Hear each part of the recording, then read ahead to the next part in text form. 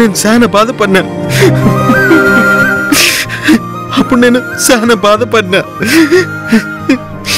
నా జీవితంలోకి నువ్వు అడ్డం వచ్చేసినావని కోపడినా నీతో నేను కళావతిని ప్రేమిస్తున్నా విషయం చెప్పాలనే ఎన్నో తూర్లు అనుకున్నా.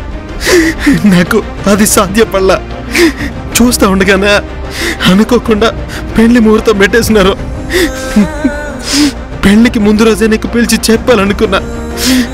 అప్పుడు నిన్ను పూజ వాళ్ళ మేనమామ కిడ్నాప్ చేసినాడు.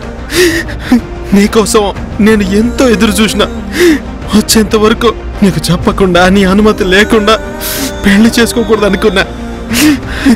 కానీ ముహూర్తానికి గంట ముందు నీకు పూజకి పెళ్ళైన సంగతే నా స్నేహితుల ద్వారా తెలిసింది. ఆ విషయం కళావతి వాళ్ళ అమ్మ నాయనకి చెప్పాలని ప్రయత్నం చేసిన కుదరలేదు. నన్ను తీసుకుపోయా పీటల మీద కూర్చోబెట్టారు? ఆ సమయంలో పీటల మీద కళావతికి నేను ఢిల్లీలో చెప్పే ధైర్యం లేదురా. దేవుడు ఇది నిర్ణయించినాడు నమ్మే తాళి కట్టేసిన. దేవుడు సాక్షిగా చెప్తున్నాను రా నేను నీకు నీకు ద్రోహం చేయాలనుకోలేదురా. నన్ను నమ్మరా. రే రే క్షమించారని ఒక్క మాట చెప్పురా రే. నన్ను నన్ను క్షమించరా. నన్ను క్షమించరా.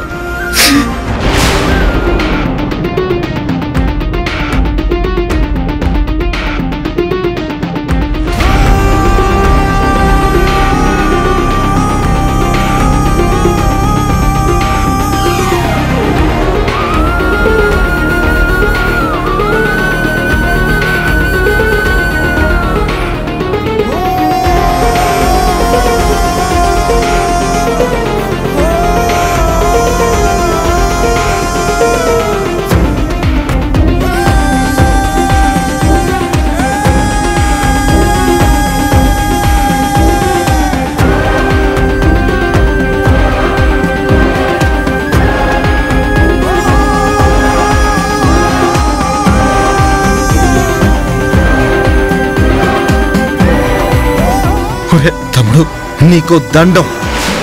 ఇంకా చాలు.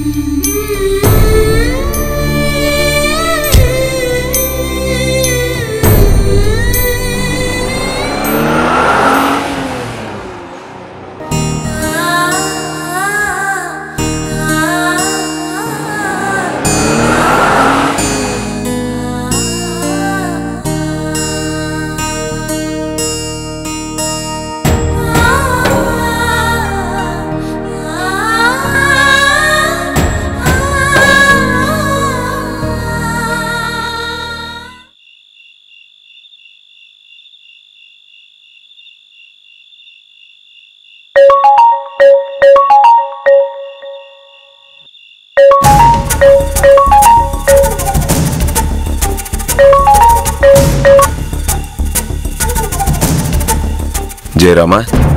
రే ఎలా ఉన్నావురా? ఎట్టుంటానో తెలియదారా నీకు? అన్ని రోజులు ఒకే మాదిరిగా ఉండవురా. పరిస్థితులు మారుతూ ఉంటాయి. ఏమోరా. ఇదిగో ఆందోళన పడకు సంతోషంగా ఉండు. అంతా బాగానే ఉంటుందిరా. ఆ, మనోజు కోడలు ఎట్టుండారా? బాగున్నారా? అంటే మనోజ్ పూజను అంగీకరించినట్టేనా? అంగీకరించినట్టేనంటే నట్టే. అదేంట్రా? నేను కలగజేసుకుని కోడలుగా ఒప్పుకున్నానురా. వాడు దారిలో పట్టడానికి ఇంకాస్త టైం పడుతుంది కావచ్చు. ఇదంతా ఢిల్లీగాని వల్లే. రే వాడిని అనబాకురా. పాపం వాడు కళావతిని చేసుకోవాల్సిన పరిస్థితిని వాణ్ణి మనం అర్థం చేసుకోవాలిరా. ఒకవేళ వాడు కళావతి మెళ్ళలో తాళి కట్టకుండా ఉన్నంత మాత్రాన మనోజ్కి కళావతికి పెళ్ళి ఉంటుందా. అప్పటికే మనోజ్కి పూజకి పెళ్ళైపోయిందిరా. ఢిల్లీ అప్పుడు కళావతి మెళ్ళలో తాళి కట్టడం కరెక్టేరా. ఏమోరా. వీడు దూరడానికే సందు లేదు. ఇప్పుడు మెడకో డోలు. అన్నీ సర్దుకుంటాయిలేరా. ఆ, అసలు నీకు ఫోన్ చేసింది ఎందుకో తెలుసా? రేపు హాస్పిటల్ ప్రారంభోత్సవం. మీరు తప్పకుండా రావాలరా. ఆ, ఈ మాట మనోజు ఇంటికొచ్చి చెప్తే బాగుండేదిరా. ఒరే వాడి సంగతి నీకు తెలుసు కదరా. మీరు రండిరా. వద్దురా.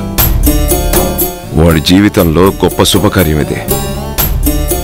ఈ సమయంలో వాడికి మమ్మల్ని పిలవడం ఇష్టం లేదన్నప్పుడు నేను రాకూడదు. ఒరే నేను పిలిచినా కూడా రావా? జయరామా అసలు మన ఇంటి శుభకార్యానికి మమ్మల్ని పిలవాల్సిన అవసరం లేదురా. జయరామా అసలు మన ఇంటి శుభకార్యానికి మమ్మల్ని పిలవాల్సిన అవసరం లేదురా.